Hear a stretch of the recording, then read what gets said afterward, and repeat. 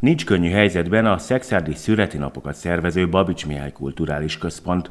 Az idei költségvetésből ugyanis sok millió forint hiányzik, főként azért, mert állami támogatás eddig nem érkezett a négy naposra tervezett rendezvény lebonyolításához. Emiatt alternatív tervet kellett kidolgozni, amit az önkormányzati képviselők el is fogadtak a Tolnai megyeszékhely csütörtöki rendkívüli közgyűlésén.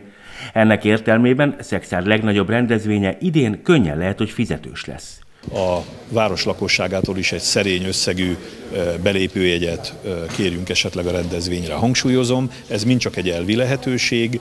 A napokban is, az elmúlt hetekben, meg a következő hetekben is nagyon keményen dolgozunk azon, hogy a korábbi megszokott módon valósulhasson meg ez a rendezvény. Hogy a szüreti napokon kell -e majd belépőt fizetni, és ha igen, mekkora összeget, az két-három héten belül dől el.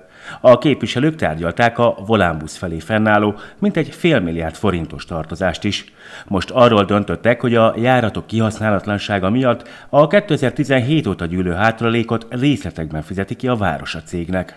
Nagyon pozitív a volán hozzáállása, hogy az önkormányzat teherviselő képességének a maximális figyelembe vételével lesznek majd az összegek megállapítva. Úgy tudjuk, a nagyjából 500 millió forintos összeget két részletben rendezi az önkormányzat.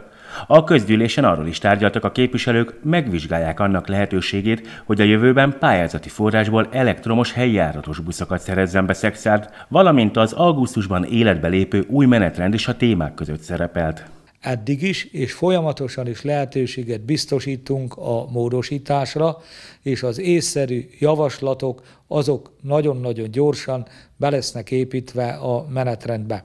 Szexádon tehát várják a lakossági javaslatait is az új buszmenetrenddel kapcsolatban.